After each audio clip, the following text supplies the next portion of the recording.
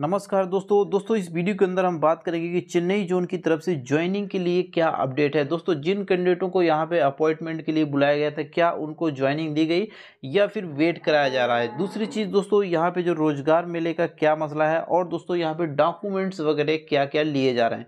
तो चलिए दोस्तों, वीडियो को शुरू करते हैं। उससे पहले दोस्तों, वीडियो को लाइक ज़रूर कर दीजिएगा और चैनल को सब्सक्राइब कर लीजिएगा। देखिए दोस्तों, यहाँ पे मुझे कुछ कैंडिडेटों से बात हुई, जिनको दोस्तों, यहाँ पे सी पोस्ट के लिए चेन्नई डिवीज़न की तरफ़ से यहाँ पे अपॉइंटमेंट के लिए बुलाया गया था। दोस्तों, इनका जो है तीन अप्रैल को इनको बुलाया गया था।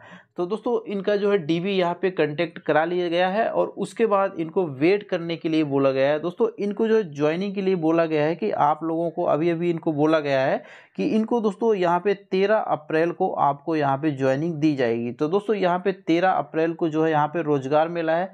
वही जो यहाँ पे जो दूसरा बैच था सी एन डब्ल्यू का, यानी कि बैच बी तो दोस्तों इन कैंडिडेटों का अभी जो है व्हाट्सअप ग्रुप जनरेट हो गया है और इनको बोला गया है कि आपको इन्फॉर्म किया जाएगा। तो वहीं लग रहा है दोस्तों इनको भी तेरह के आसपास बुला सकते हैं। वहीं दोस्तों, अब हम रोज़गार मेले पे बात कर लेते हैं। देखिए, यहाँ पे लिखा हुआ कि तीसरा रोज़गार मेला यहाँ पे तेरह अप्रैल को लगाया जाएगा और टोटल इकहत्तर हज़ार नियुक्ति पत्र दिए जाएँगे। और यहाँ पे दोस्तों, यहाँ पे पचास हज़ार सिर्फ़ नियुक्ति पत्र रेलवे विभाग की तरफ़ से दिए जाएँगे।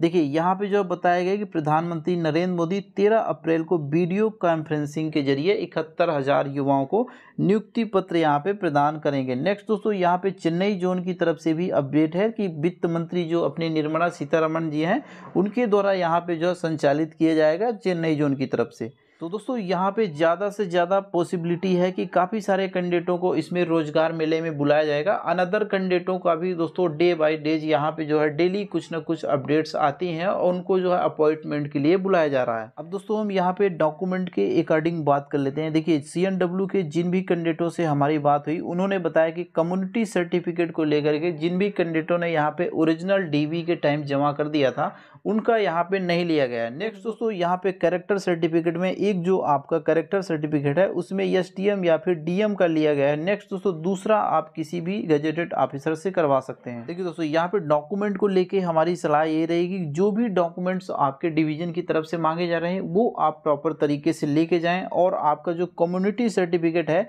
उसे कहीं कहीं पे लिया जा रहा है कहीं कहीं पे बोला जा रहा है कि ठीक है, आपने डीवी के टाइम जमा कर दिया है तो उसी में हो जाएगा। लेकिन दोस्तों, आप लोग, हमारी सलाह यही रहेगी कि अगर आपके पास टाइम है तो आप लोग बना करके लेके जाएँ। तो थैंक्स फॉर वाचिंग दोस्तों। इस वीडियो में इतना ही। अगर और कोई भी अपडेट्स आती है चेन्नई जोन की तरफ़ से तो आपको इस चैनल पे मिल जाएगी।